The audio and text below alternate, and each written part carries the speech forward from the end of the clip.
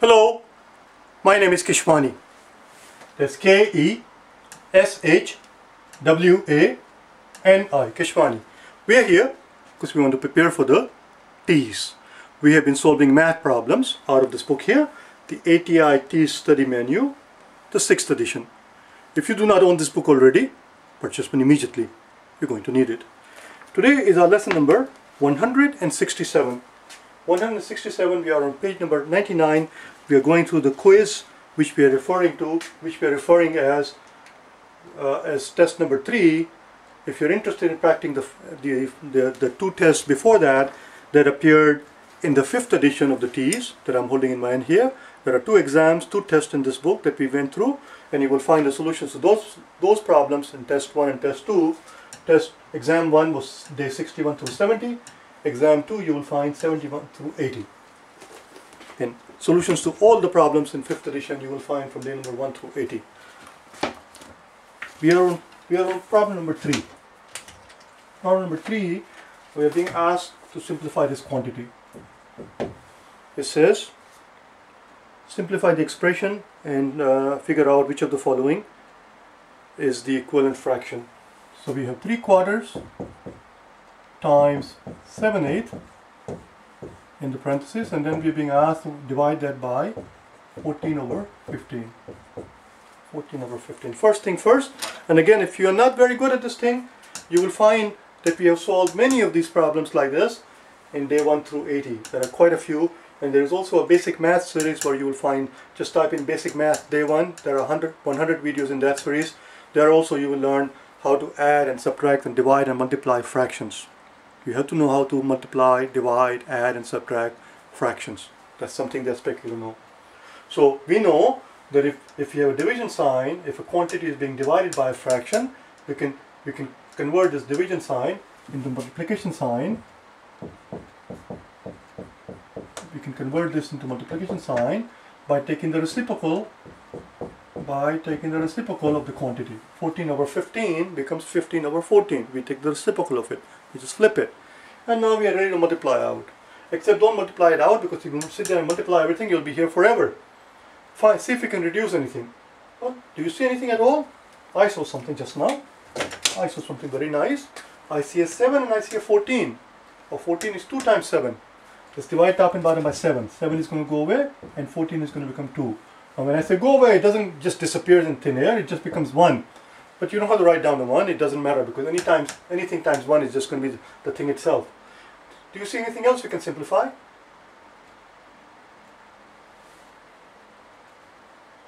Strangely enough, I don't see anything else. That's about it. That's about it, because 3 and the 15 have nothing in common with 4, 8 and 2. So now we have to multiply. 3 times 1 is 3, 3 times 1 is 3 and 3 times 1 is 3 times 15 is going to be 45. That's our top. And the bottom, 4 times 2 is 8 and 8 times 8 is 64. Very good, that's your answer. 45 over 64. So if you find an answer choice that says that, 45 over 64, that's answer choice C. The answer is C. Let's do the next one, shall we? Number 4.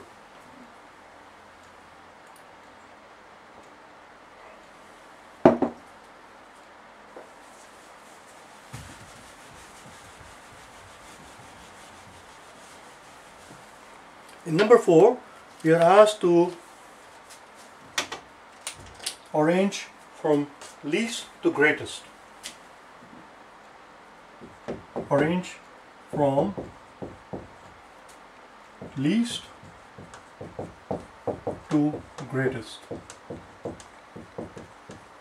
You have to pay attention there because sometimes they ask us to arrange them the other way. From greatest to least, in which case the greatest goes first. Here we have to least to greatest which is which which makes it simpler because least to greatest we just have to think in terms of a number line whereas the greatest to least you have to go in the opposite direction.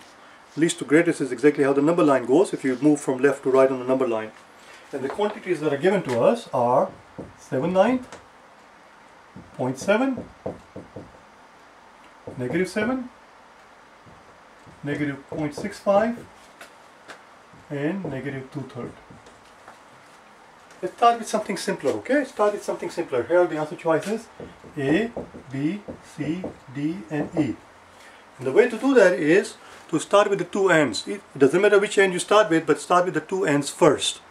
Either the greatest or the smallest first, and then the, the, the other one. Let's start with the greatest first. Let's start with the smallest here. The smallest here is negative 7. Negative 7 is even less than negative 1, and these things, this quantity, if you look at the number line here, there is your 0, here is your negative 1, negative 7 is going to be somewhere here. That's the smallest one. And these two quantities are for, since they are less than 1, or rather uh, less than positive 0.65 and 2 thirds is what I meant in terms of positive, they're less than 1, and therefore negative 0.65 and negative 2 thirds are more than negative 1. These two quantities are going to fall somewhere here, very close to each other, very close to each other, but somewhere here. Here is a half, this is a 0.5, uh, 0.6 points. They're to, one is to fall here and one is going to fall here. Very close to each other.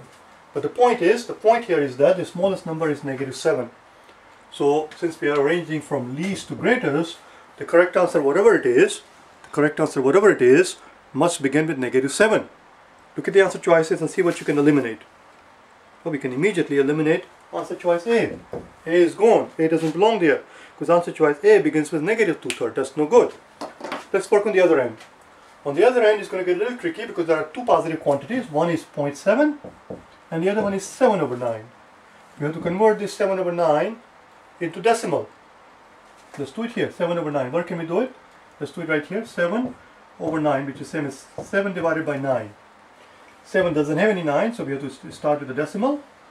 7 becomes 70. Okay, stay with me in that story. How many 9s in the 70? Well, I know 9 5s are 45. 9 5s are 45. If you add one more line, 9 6 are 54. If you add one more 9, 9 7s are 63. Oh, we're getting very close. That's it. If you do, if you do one more, it's going to be 72. It's going to be, going to be too high. Table of 9 is very simple. 9's table is very simple to memorize because the digits, one goes down by one, the other one goes up by one. The tens digit goes down, go, goes up by one each time and the unit digit goes down. 45, 50, 54, 63, 72. 72 is too high. So this is 9 fives are 45. So this represents this represents 5 nines. 5 nines are 45. This represents 6 nines and this represents 7 nines. There you go. 7 nines are 63. And we have another 7 remaining again, which is what we started out earlier. So again, you stick a 0 and you're going to be 7 and 63 and you can have 7 remaining again. You stick a 0 and you do it again and you keep on going until the cows come home. It never ends.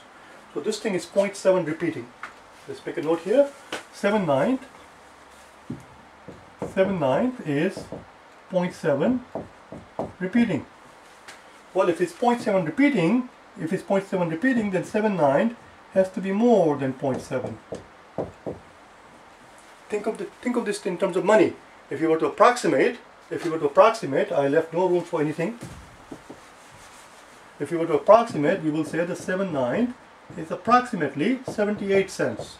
Because it's 70.77 repeating. It's 0.77 repeating, it just goes on forever, and since it's more than 5, the third digit, you round it up to 78 cents. Whereas 0.7, 0.7 is exactly 70 cents.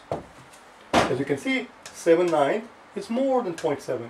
7.9 is more than 0.7, which means if you're going from least to the greatest, the greatest among these quantities, because these three are negative, this is negative, this is negative, this is negative, when we talk about greatest, we only have to concentrate on the positive quantities. There are only two positive quantities, 7 9 and 0.7. 7 9 we just established is the greatest. So the story has to end somewhere here, 7 9. Any answer choice that not, does, does not any answer choice does, does not start with negative 7 and does, does, does, and does not finish with 7 over 9 is wrong. Is there anything we can cross out here? You're looking for something that does not have 7 9 and the C is gone. Now we crossed out but C, but watch how I'm going to cross it out. I'm not going to cross out with a red pen like that. C is gone, but we're going to do it in a different way. To remind us, to remind us that these two were crossed out for two different reasons.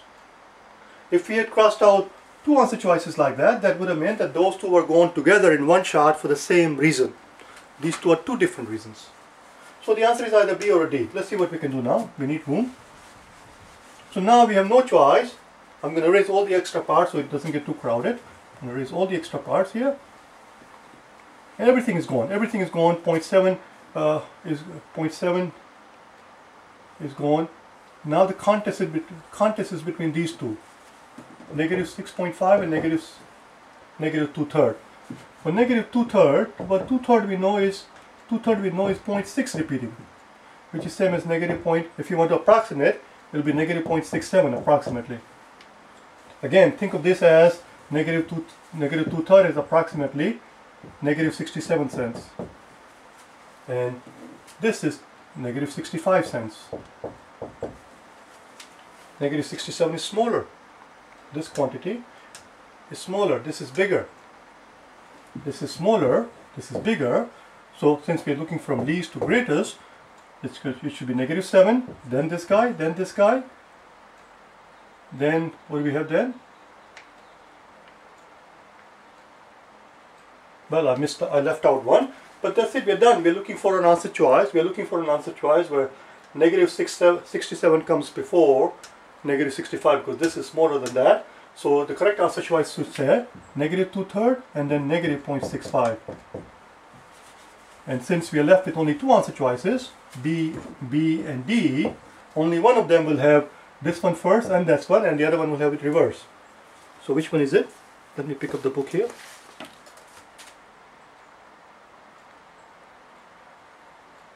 B says negative two third. There you go. Answer choice is B. Correct answer is B. B says negative two third and then negative 0.65. And C says, oh, C was already gone. We crossed out C long time ago. C was gone long time ago. We were down to B and D. Let's look at what's wrong with D. In D, and there is no answer choice E. And D, they have it the other way around. As I told you, they're going to have it the other way around. So the answer here is C. Answer is C. I'll see you tomorrow, okay? Bye now.